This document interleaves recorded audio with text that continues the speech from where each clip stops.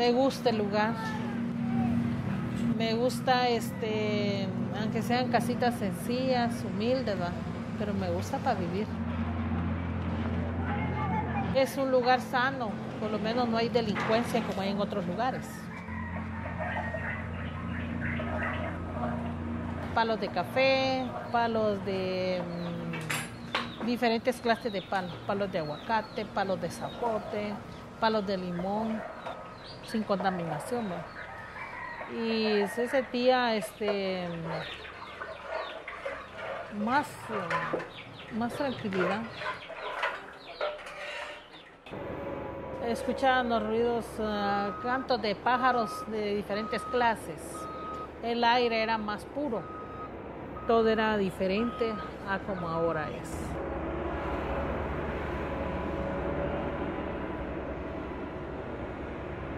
Nosotros no nos enteramos sino hasta que vimos que ya estaba en camino ya a la carretera, porque solo miraban que tomaban medidas por un lado, tomaban medidas por otro, ¿va?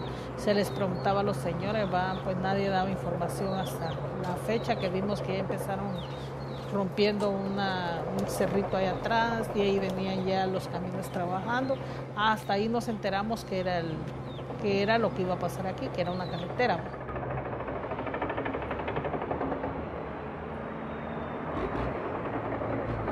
Teníamos esa ventana porque como por ahí entraba aire de los árboles, entonces el aire que entraba era, se puede decir puro, ¿va? porque no había contaminación de nada.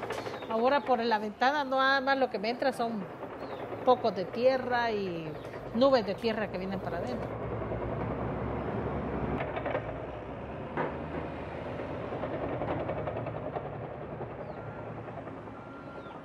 Ahora por donde quiera oímos ruidos, máquinas temprano a las cinco y media, ya vienen los camiones y se aquella tembladera que alguien está acostado en la cama y ya no puede dormir, va, porque tiembla, hasta la cama se siente que tiembla.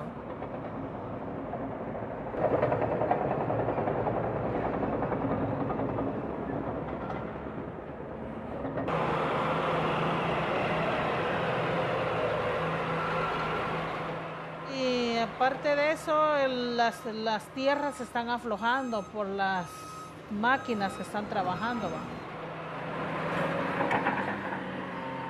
Los aparatos se han arruinado.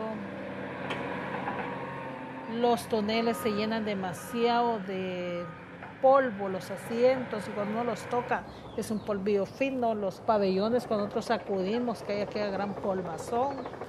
Y en muchos sentidos, va, porque nos ha venido a afectar con enfermedades diferentes.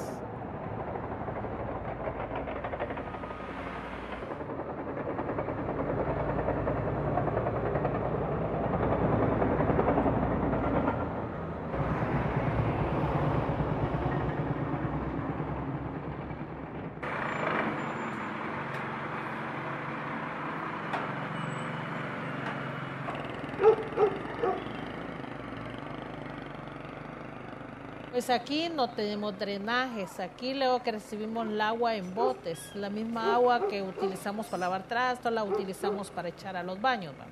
Tenemos pozos ciegos, aquí no hay drenajes porque dice que el alcalde no puede hacer nada, que estos terrenos no están legalizados y que sería como una inversión en vano.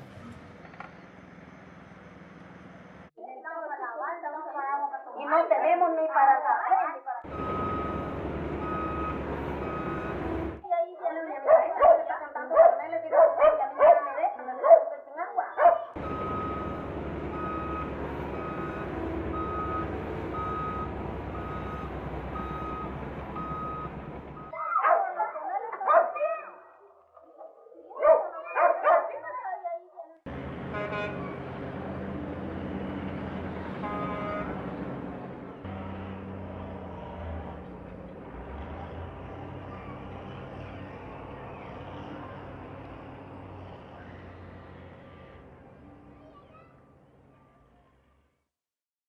por el momento había, se había hablado de 15 familias, de 15 familias y en eso estamos esperando a ver cuántas, si se van a mover las 15 o se van a mover menos.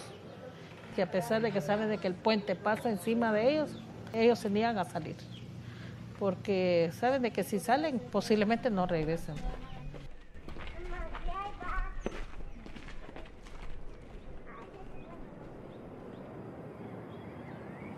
Entonces la gente sabe de que el dinerito que tienen ellos lo consiguen para la comida, pero ya para un alquiler no tienen. Pues hay niños estudiando aquí que dicen que tendrían que sacarlos de estudiar para poder pagar el alquiler.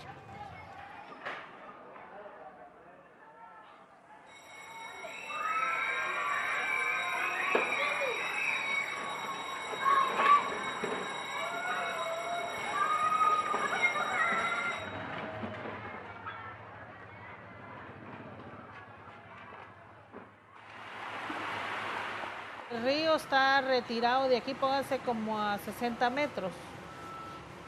Entonces nosotros hasta aquí donde estamos ubicados no corremos ningún peligro.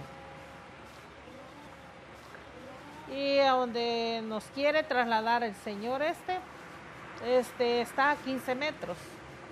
Es una parte rellena, que no es tierra sólida, ¿va? que diga uno, son tierras sólidas que han existido, ¿va?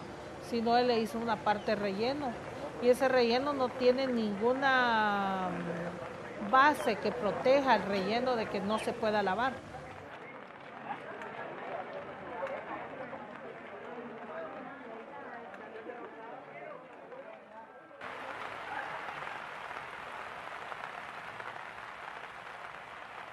pues pedimos que sea un lugar correcto donde el Señor tenga que trasladar a estas personas con todos sus usos que tenemos sencillos, pero los tenemos en nuestras viviendas.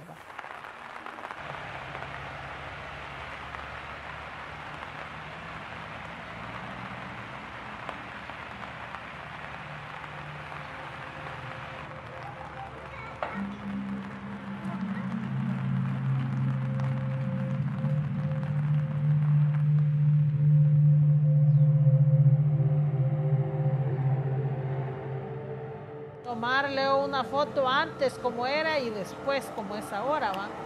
Pero muchas veces uno no lo hace, ¿va? Porque lo tiene uno a la mano y uno dice esto no va a desaparecer nunca, ¿va? Pero uno mira que todo se va destruyendo, todo lo destruimos los humanos, ¿va?